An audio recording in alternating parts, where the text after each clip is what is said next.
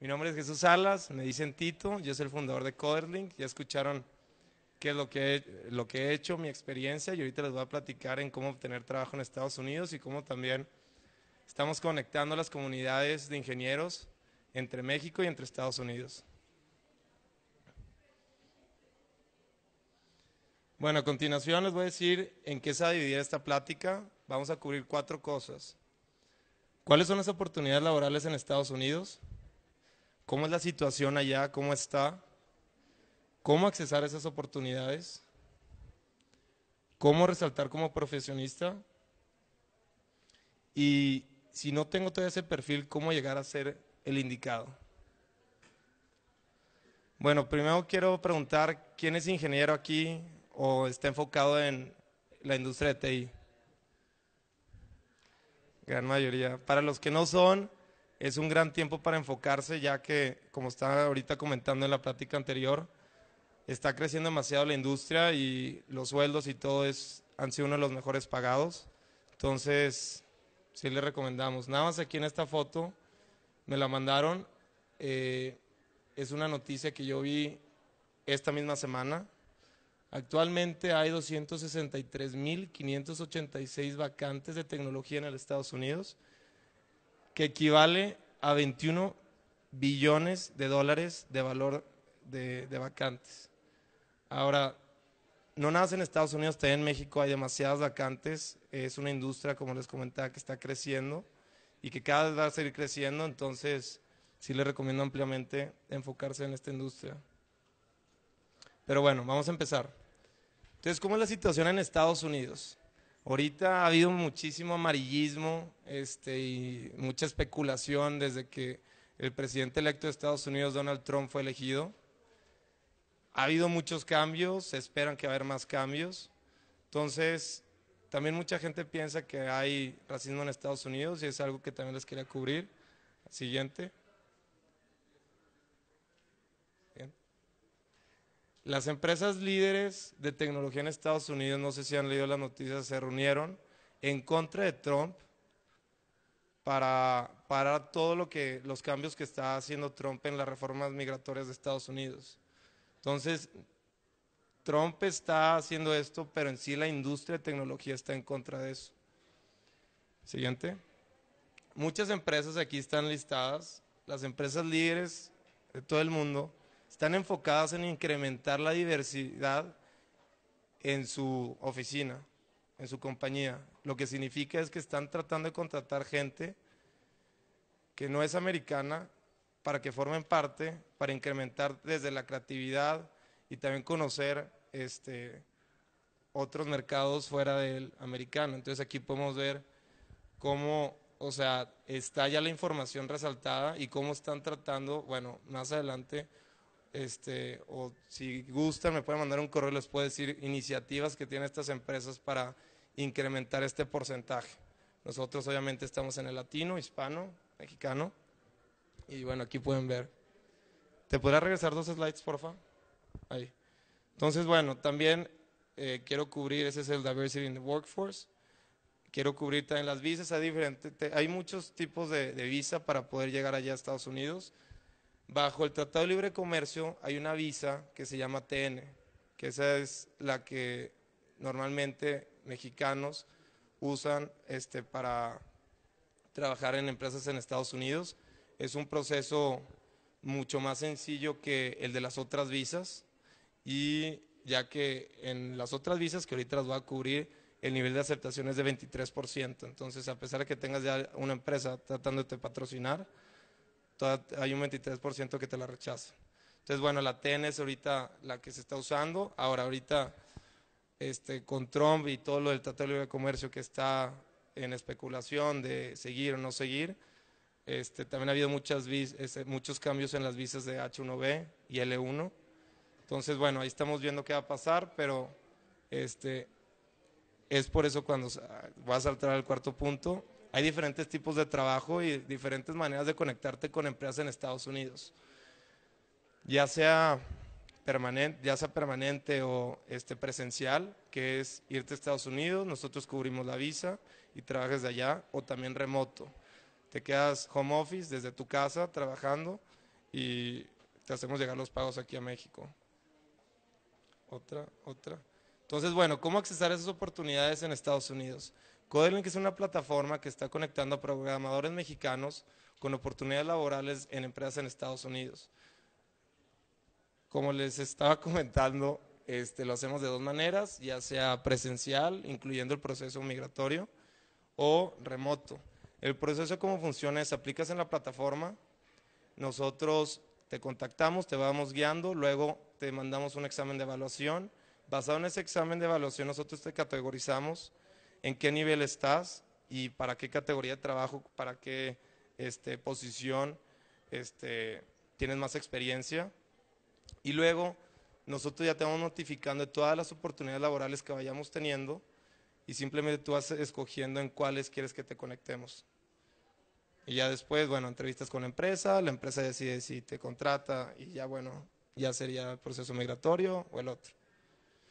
Está padrísimo y quiero contar, por ejemplo, hemos trabajado y hemos conectado a varios. Uno fue este, alguien, un ingeniero de la, que nació de la, en la Sierra de Chiapas y estuvo padrísimo. Fue inclusive a entrevistarse a San Antonio y lamentablemente no pasó esa entrevista, pero ya estando ahí en ese mismo día, este, lo conectamos con otra empresa, al día siguiente ya estaba contratado y esa misma empresa está siendo acelerada por Techstars, que es una aceleradora muy grande a nivel mundial y bueno, la empresa ya levantó varios millones de dólares y él está viendo en St. Louis y está muy contento con su esposa.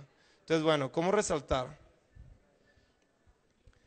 Nosotros hemos entrevistado a demasiadas gentes, hemos visto demasiadas entrevistas que les va muy bien y demasiadas entrevistas que les da muy mal. Entonces, quise incluir esto porque es importante este, estar consciente de qué decir, qué hacer antes de la entrevista y qué hacer después, durante y después de la entrevista. Entonces, antes de la entrevista es importante hacer investigación desde la empresa, qué está haciendo, como también de la persona que te va a entrevistar. Entonces es importante también crear toda una lista de preguntas de qué es lo que está haciendo la empresa, por qué a ti como candidato te interesaría trabajar para la empresa, qué está haciendo, para dónde van. Y eso lo admira mucho la empresa porque eso muestra que, para empezar, el candidato se tomó la tarea de investigar y también que tiene mucho interés en la empresa. Y al final del día, tú en tu equipo quieres a alguien que se case con la empresa y alguien que esté interesado en tu misión y en tu propósito. Entonces es muy bueno hacer. También es asegurarse que tienen todo ya listo, ¿no? De el internet está funcionando, que están en un lugar callado. Nos ha tocado que el candidato es muy bueno, pero está en un lugar con mucho ruido, no lo pueden escuchar y la entrevista se va para abajo.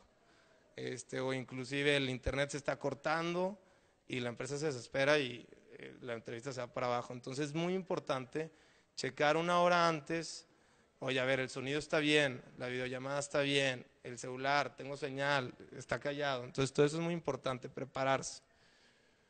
Durante la entrevista, es relajarse, es una persona más como uno, eh, no ponerse nervioso porque luego no fluyen muy bien este, las palabras. También es muy importante practicar el inglés un poquito para que lo traiga más fluido.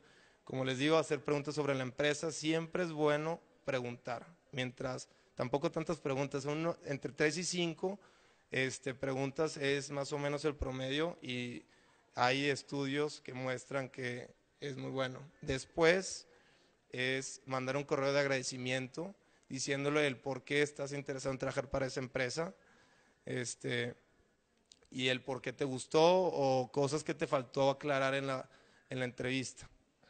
Entonces, bueno, esos son los consejos para tu entrevista. Otra cosa que hemos visto con nuestros candidatos es que no tienen información este, actualizada o pública. Entonces, este, por ejemplo, ahorita en estas épocas, las redes sociales son todos también.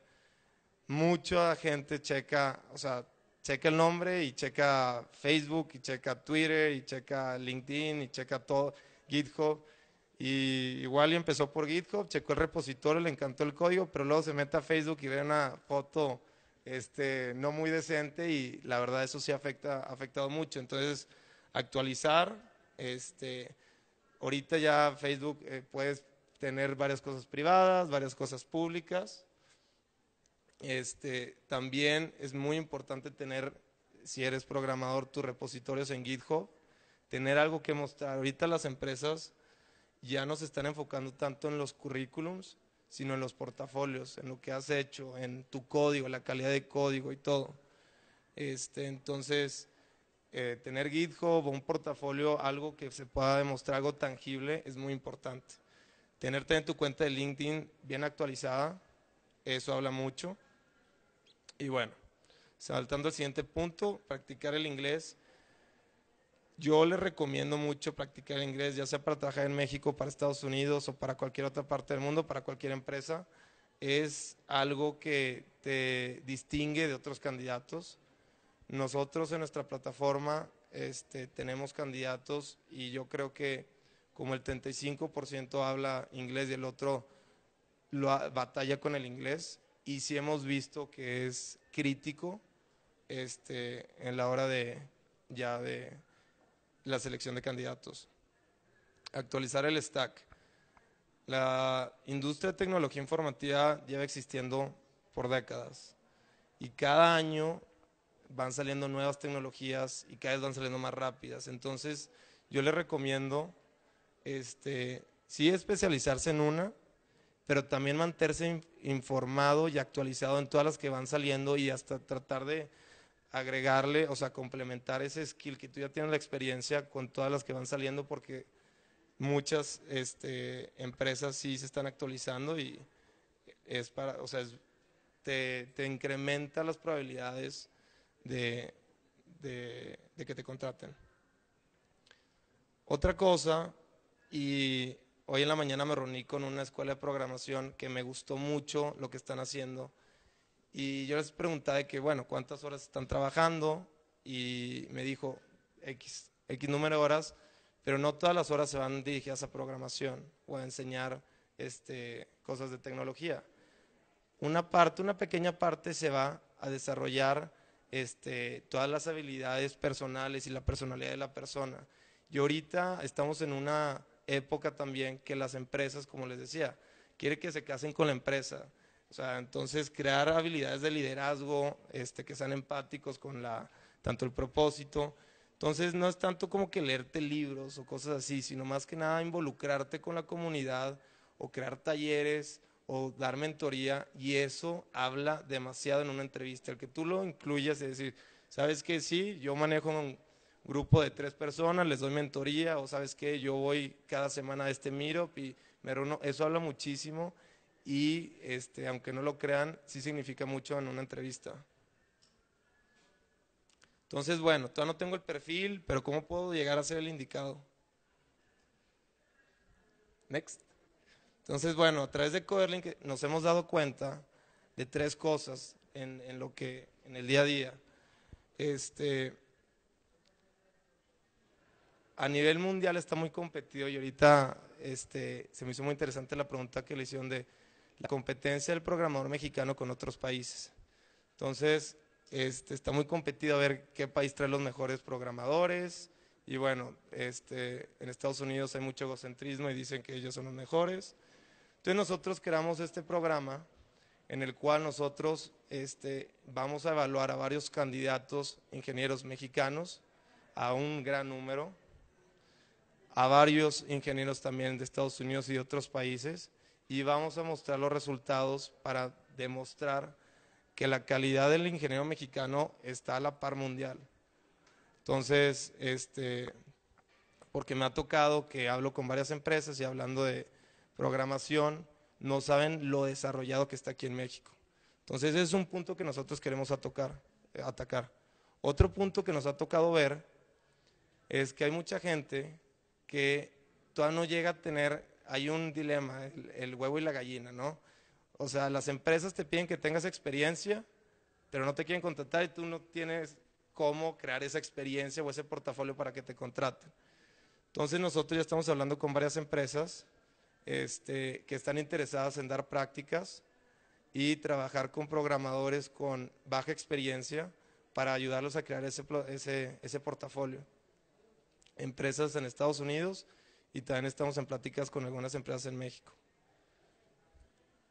El tercer punto es, también queremos crear una comunidad digital en la cual queremos unir meetups, comunidades de programadores aquí en México, con comunidades de programadores en Estados Unidos, para mejorar el inglés de manera casual, para también intercambiar flujo de tendencias de tecnologías, de noticias y, este, y crear relaciones entre ingenieros con ingenieros, no empresas ingenieros.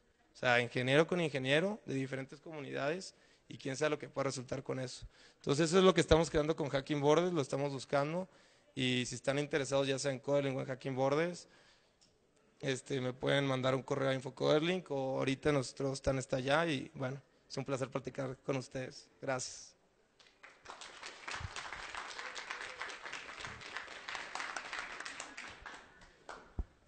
¿Alguna pregunta? ¿No? ¿Nadie? Eso significa que lo dije muy bien, muy elaborado. yo creo que sí. ¿Qué, tipo de, oportunidades tienes? ¿Qué niveles? Ok, sí, me, se me olvidó tocar ese detalle. Nosotros estamos trabajando con este, desarrollos, desarrolladores de software, móvil, web, UI, UX, DevOps, administradores de sistemas y de base de datos y testers. Y de categorías, estamos nosotros trabajando con diferentes empresas, entonces varía mucho este, qué o sea, con qué lenguaje o qué es lo que está necesitando. Este, pero nuestro, el promedio que tenemos de candidatos en nuestra plataforma es entre 5 y 7 años de experiencia pero ahorita ya nos estamos enfocando con los hacking boards, también estamos abriendo un poquito más la puerta para empezar a conectar a todos los que también están empezando. ¿Alguna otra pregunta?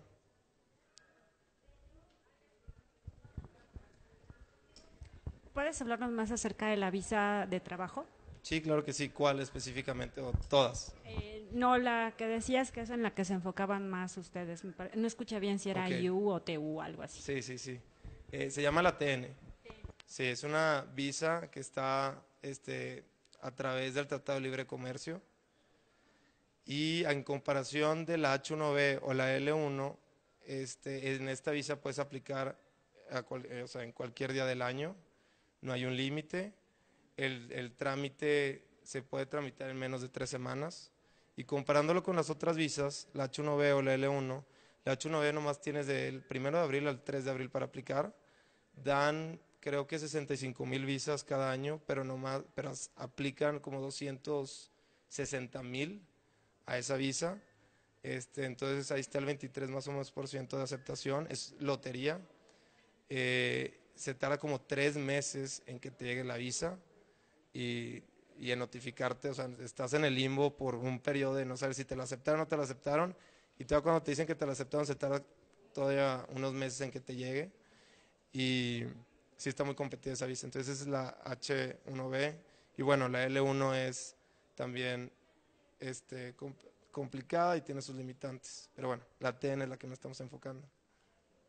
Eh, en mi caso he aplicado para algunas vacantes en Estados Unidos.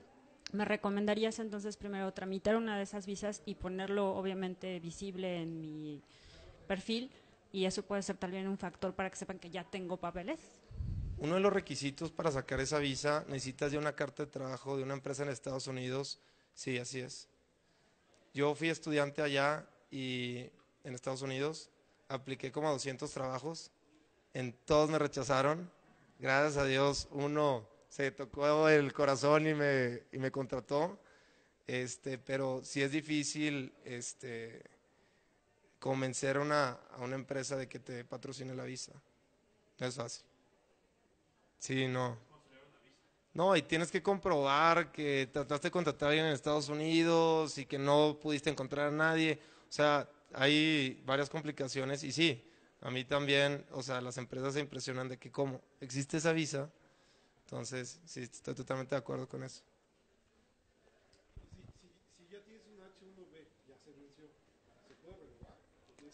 Sí, sí se puede renovar. No soy abogado de inmigración y nos enfocamos en TN, pero con gusto te puedo conectar con nuestro abogado. ¿Alguna otra pregunta? Nada.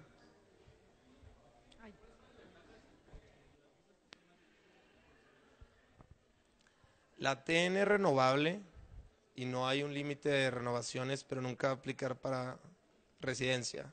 La H1B se aplica para residencia, por lo cual es mucho más competida este, y también mucho más cara. ¿Nadie más? Sí. Oye, es,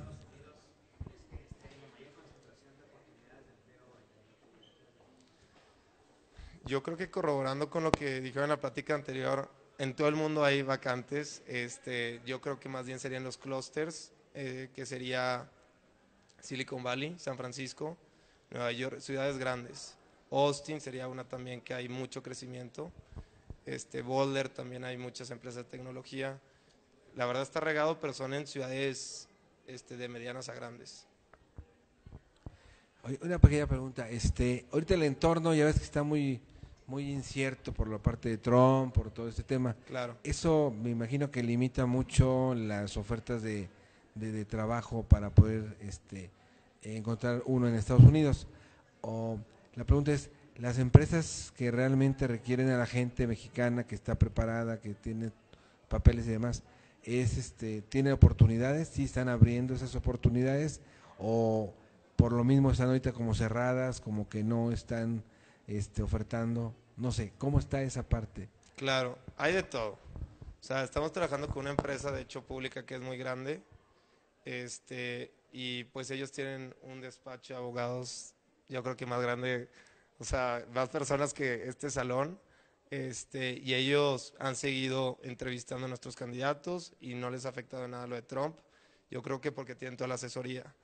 Estados Unidos depende mucho del, del, este, del trabajador foráneo. Es una comunidad de muchas culturas. Entonces, por más cambios que le hagan, no pueden cerrar eso.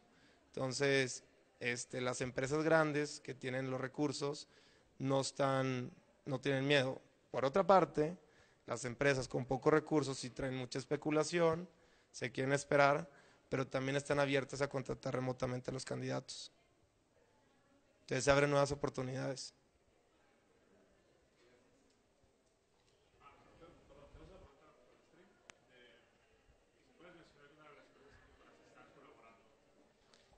Hemos trabajado con una empresa de ciber- de ciberseguridad que levantaron 180 millones de dólares de inversión.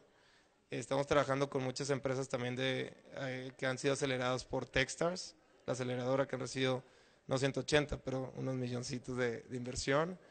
Y también están entrevistando algunos candidatos este, Microsoft en Seattle.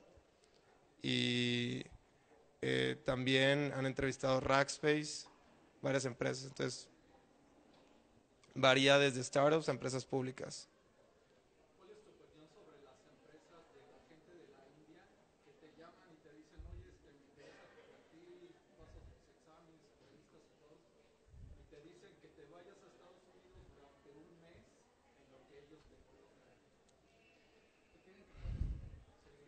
No te lo recomendaría.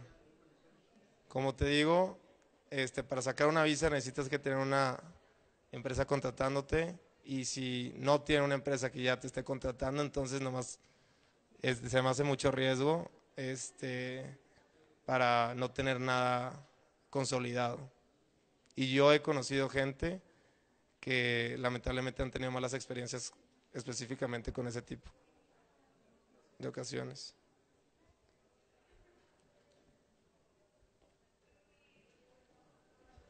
Una más. Hola, ¿qué tal? Eh, Ya me estoy calentando, ¿eh? podemos tener más preguntas.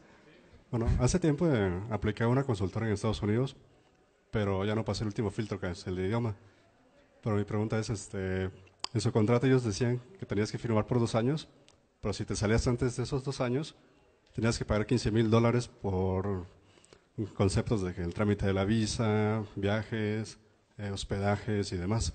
Entonces mi pregunta es si ese tipo de cosas es legal en Estados Unidos. Híjole, otra pregunta. No soy abogado volviendo a lo mismo, pero lo podemos consultar con nuestro equipo y te podemos responder eso, pero si lo establecen en el contrato, yo creo que ya fue revisado por un abogado. Entonces, supongo. Entonces, para responder tu pregunta, no sé, pero lo podemos consultar. Ok, pues ahora sí creo que fue todo. ¿Perdón? No, pero... Bueno, muchísimas gracias. Ahí está el correo. Este, cualquier duda, eh, estamos a su disposición y estamos muy emocionados de estar aquí con ustedes y gracias a Software Guru por invitarnos. Gracias.